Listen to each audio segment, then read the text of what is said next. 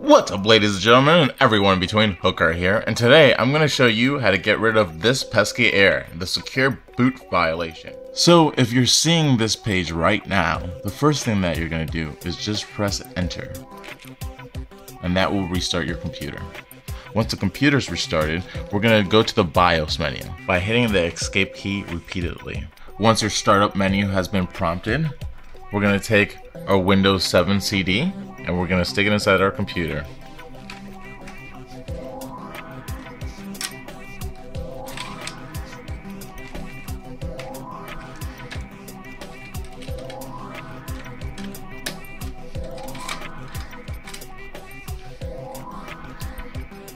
Now, we're to press F10.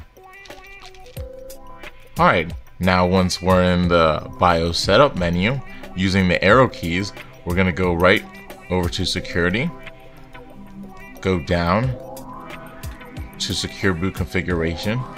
Using the keyboard, we're to press enter. It's to prompt secure boot configuration. We're to hit F10 to accept. Once we do that, it's to give us another menu. You're to see legacy support and secure boot. We're to go down to secure boot, press right on the keyboard to disable that. Once we did that, we're going to go up to legacy support and we're going to enable that. The reason we need to enable legacy support is because it will allow us to install older software like Windows 7 into this computer. Once we did that, we're going to press F10 to accept. Go over to File, and save, change, and exit. Yes. Once it does that, the computer is going to restart. And it's going to prompt up operating system boot mode. Now we need to enter in this code in order to finish the secure boot mode change. So we're just going to press 7086 or whatever number prompts you on the keyboard. 70 eight, six. Once we did that, we're gonna press enter. Alright, so once the computer starts to restart, we're gonna just press the F9 key.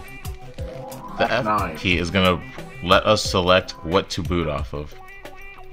So I'm gonna go down to UEFI HP CD-ROM and hit enter. Now it's gonna boot off the CD. And there we go. Just hit any key and it should start the Windows 7 installation. We're just going to hit enter.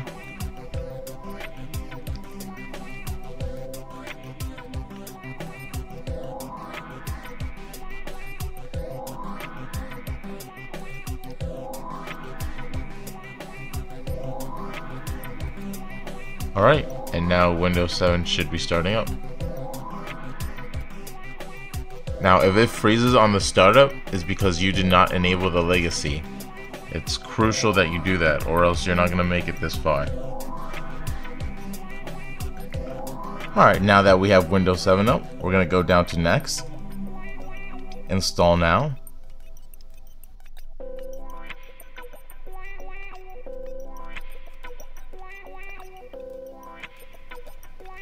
Alright, you're gonna see uh, the license window comes up. You're gonna go down to the bottom and hit accept.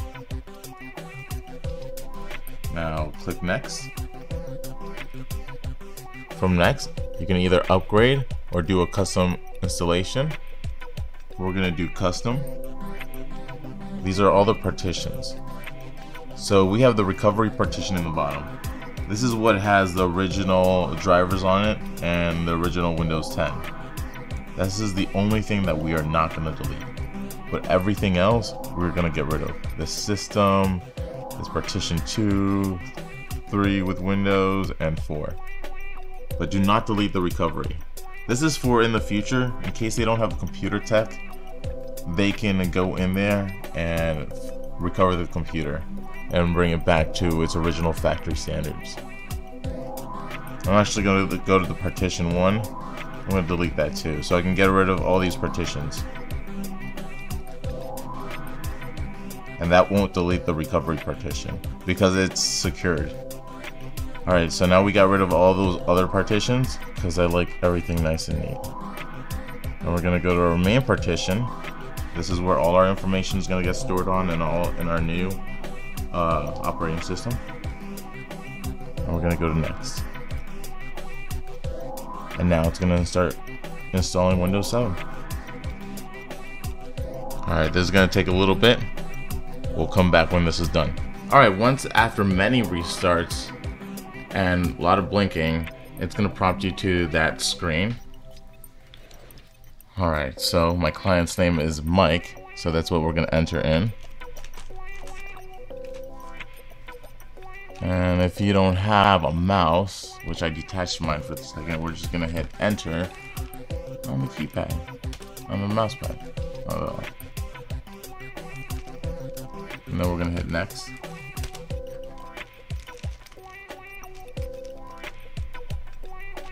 Let's see a little bit. Ask me later.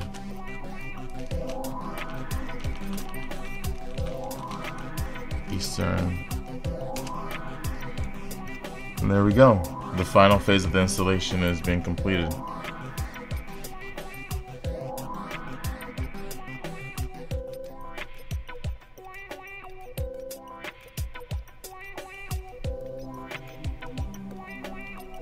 Congratulations. You now just put Windows 7 on your Windows 10 machine. Should be proud of yourself if you made it this far. If you didn't, go check out some of my other videos that might be able to help you out with this.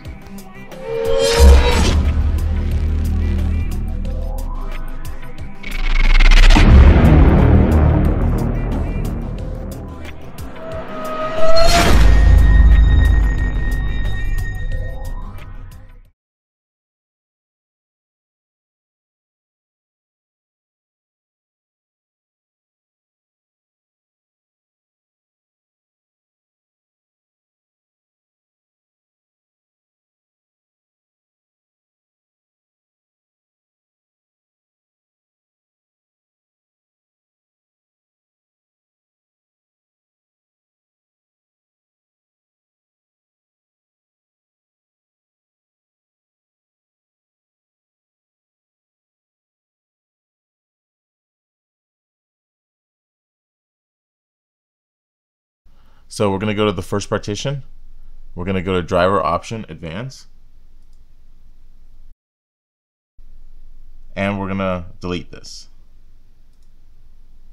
It's going to bring up a warning. We're going to hit yes. Now that's gone. We're going to go to partition 1 and delete that. hit OK. We're going to go to partition 1 again and this is the hard drive with Windows 10 on it. You can tell because it says gigabytes behind it, and everything else says megabytes, with the exception of the recovery. From storage, drive, we're going to go down to boot order and press enter. Or, so then we're going to go down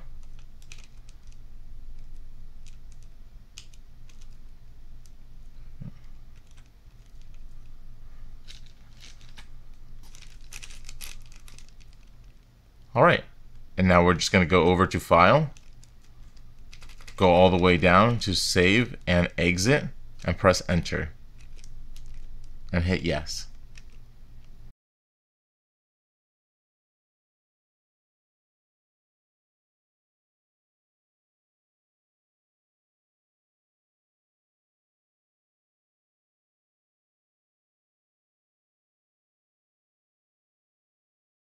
Now the computer is going to restart and we're going to be allowed to boot off our CD.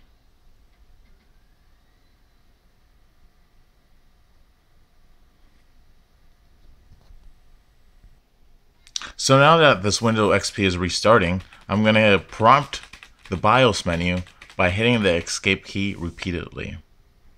I'm going to go down to the F10 key and prompt the BIOS. Once the BIOS is prompt, I'm going to go to security. And I'm by using the arrow keys, keys on the keyboard. From security, I'm going to go down to secure boot configuration. Hit enter.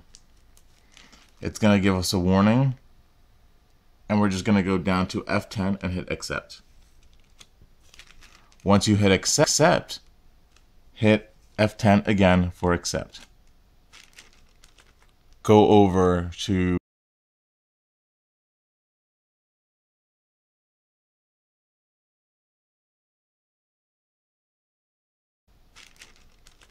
go over to File and save, change, and exit. F9. Yes. Now the computer is going to restart and we're going to be allowed to boot off our CD.